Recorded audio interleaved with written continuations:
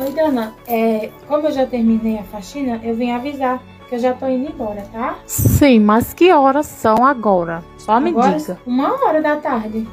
Então, tá muito cedo. Pra mim, você tem que ir embora umas 4, 5 horas, não é? Não, mas se eu já terminei, então eu acho que eu tenho que ir, né? Eu, tem mais alguma coisa pra fazer? Porque tudo que a senhora pediu, eu já fiz. Sim, então, você acha que vem aqui trabalhar 4, 5 Não, horinhas? não tem condições não. Se eu terminei, eu acho que eu tenho que ir embora. E eu preciso receber pra eu ir. Tá aqui, né? O seu pagamento. O cheque só tem 36 reais.